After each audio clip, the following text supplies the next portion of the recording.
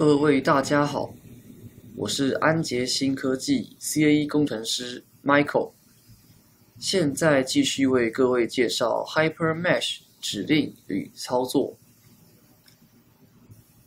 在这一部影片中，我们要跟大家介绍的功能是 HyperBeam Sections。HyperBeam Sections 这个功能。是要让我们了解到如何在 HyperBeam View 里面去定义它的截面。那么我们可以看到有分成四种方式。第一种是所谓的 Standard Section。那这个 Standard Section 我们是可以从 HyperMesh 里面有支援的资料库里面去把一些现成的、现有的几何截面，把它调出来，当做是这个 bin 的 sections。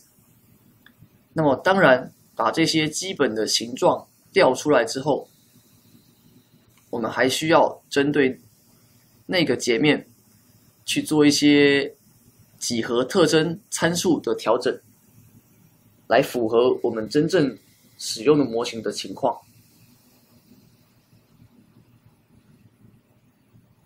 那么第二个是所谓的 shell section。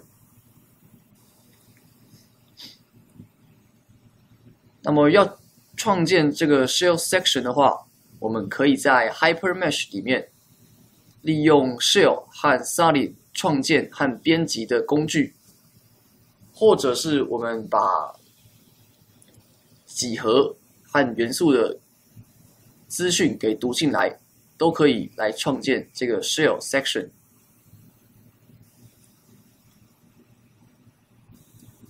那么对于一个 shell section，它的厚度定义的话，它会根据这个模型所有的 element，所有 shell element 它的厚度进行平均后，来当做这个 shell section 它的厚度。如果是复合材料的话，那么它会把这个复合材料当做是 homogeneous 的材料。Solid section 和 shell section 的形成方式也是类似的，都是先在 HyperMesh 里面先创建或编辑一些几何和元素的截面和形状之后，再读入 HyperBeam。View 里面来，那么这个是 Solid Section 它的创建方法。那么最后一个 Generic Section，这个定义的方式有点特殊。它这个定义的方式是不需要去提供真正的几何造型的，那么只需要去给定它的面积。转动惯量、重心等等其他的截面参数就可以了。